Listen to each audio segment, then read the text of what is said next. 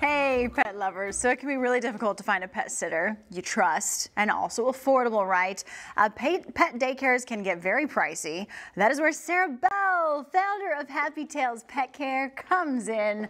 So she, of course, is a lifelong animal lover. Not surprising there. She is also an animal mom. So she knows how important it is to find someone trustworthy and reliable to care for your furry friend or feathery or scaly, I hear too. That's right. You've covered it all. Covered it all. Well, welcome.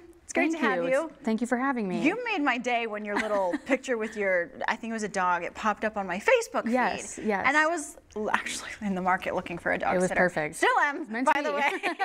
but this is so cool. Tell us the story behind you starting this. yeah, yeah. So I, I've been dog sitting, animal sitting in general um, since I was a teenager. Mm-hmm. Um, it really picked up during COVID and post-COVID when people got pets or were home with their pets all day Oh. and they're going back into the office. So they need someone, you know, to stay with their dog, whether it's to walk them, take them on a potty break. People are getting back into traveling. So it's it's easier on the on the animal to have it, you know, stay in home, Yes. less less anxiety, less nerves. So that's where I come in. I watch your dog as if it were my own, your cat, your bird, axolotl, whatever it may be. Yeah. Um, and it, yeah, it really picked up uh, post COVID. I, you know, it's so interesting as just as people experienced a lot of anxiety, so did Yes, animals. So yes, much changing yes. around them. Animals don't understand what's going on, but they can sense our energies.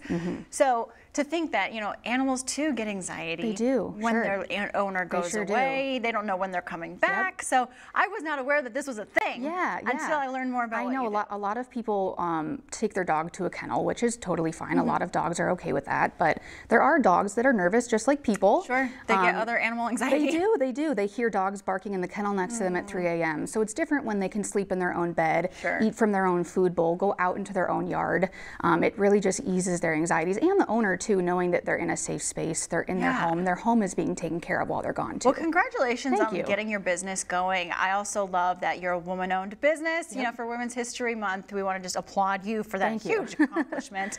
You've had some interesting requests. I sure have. Let's talk about the cow. Yes, yes. So I, I mean, on top of dog and cat sitting, I'm actually watching a bird right now, um, an African gray parrot. I also have watched axolotls, and recently I got asked to watch a cow. Um, no small lifting there. No, and I mean, we are Iowa. It's, it's farms, and it's not surprising so to me. It's, it's. I unfortunately can't because I'm booked that week, but Right. um, I thought that was a really, really awesome request, and, and maybe one day I'll be able to. Hey, you know, take yourself to the next level. Why Yes, not? exactly. I think, you know, every animal needs just a person, Yes, companion. exactly. And I find that, I find what you do very curious Yeah. because, you know, I would think you have to be a lover of all animals. Yes. To not get like uh, Yes. scared of them. Yes. I couldn't do snakes. Yeah, I know. I couldn't do anything yeah. scaly or. Yes, yeah. The, I think the one thing I couldn't do is a tarantula. I think everything else I'll be fine with. Okay, You have that an still leaves the iguana, a world pretty snake, open sure. to you. Do people find you? How can they get Yeah, so I have um, a Facebook page, um, Happy Tails Pet Care by Sarah. This is so Um, cute, by the way. Thank you so much. My email is on there. You can message me, email me, message me on um, Market or excuse me, Facebook. Um, they can contact me on there, tell them about my rates, my flexibility, my schedule, and we can go from there. We have geese on the roof. If you hear that coming I wondered through. what that was. We have a lot Maybe of they geese. need a pet sitter. I, they might. They're not very friendly with us. Maybe you could be the goose whisperer. I could be. I think Who our whole knows? team would appreciate that.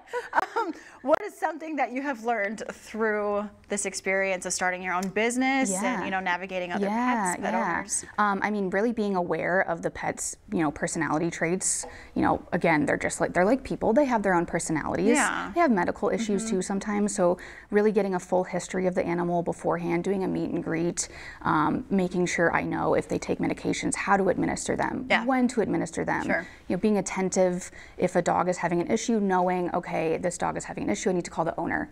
I need Yeah. to take them to the vet.